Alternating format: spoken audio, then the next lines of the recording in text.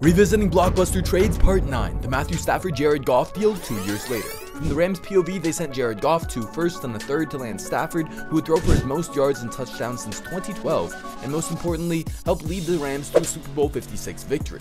However, an injury-riddled 2022 season saw Stafford miss 8 games and the Rams miss the playoffs, but a ring is a ring.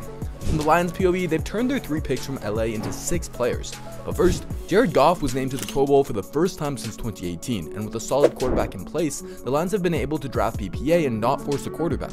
Looking at their picks from LA, the 2021 third turned into Ifeatu Melifonwu, the 2022 first was used to trade for Jameson Williams and Josh Paschal, additionally the 2023 first was used to trade down with Arizona, giving the Lions first, second, and fifth round picks, which became Jahmyr Gibbs, Sam LaPorta, and after a trade up to the third round, Brodric Martin. So the Rams got a ring, but their future looks murky, while the Lions accelerated the rebuild and look poised for a playoff push for the first time in seven years. So, make the call, who won the trade?